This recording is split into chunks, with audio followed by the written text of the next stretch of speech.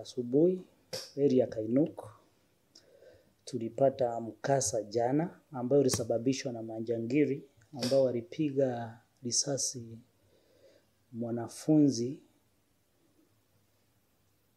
huko Kainuk.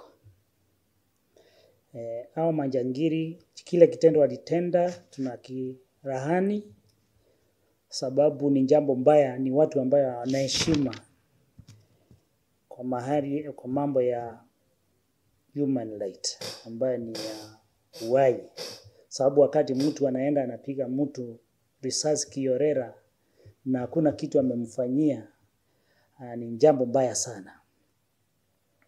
Huyo mtoto baada ya kupigwa risasi tuliweza kwenda tukampata, alafu tukampeleka hospitali rodoret Eldoret Referral ambapo ndiko alikuwa anashughulikiwa.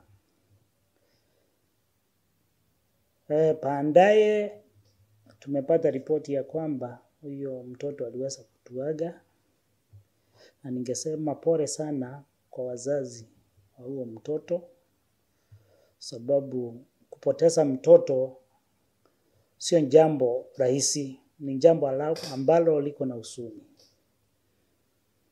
Kuna mambo ya usafiri wa hii barabara kutoka Kainuk mpaka Rockshall. Usafiri yake uanga ni kutoka asubuhi mpaka saa kumi na mbili ya jioni, sababu tuna kafyu ambayo imetolewa na serikali sababu ya maneno ya kuangalia kiusalama.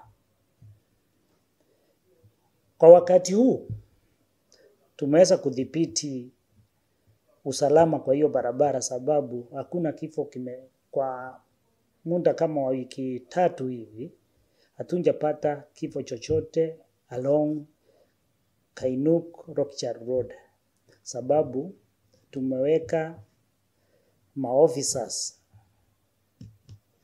ya multi-agency ambao wanaweka ndoria kwa hiyo barabara kuhakikisha ya kwamba wananchi wakitembea, wale majangili ambao walikuwa wanatokea kwa barabara na kuvamia wana wasafiri haitendeki.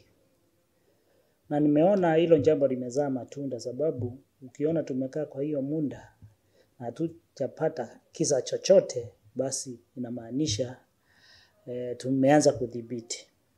Mi ningetaka kusema ya kwamba hao manjangiri ambao wanafanya hili jambo wanjue watapatikana, na tukiwapata wawe ni wapande gani ama gani, ni wakabila gani ama ni kabila gani, tutawachukulia hatua ya kisheria vile inatakikana.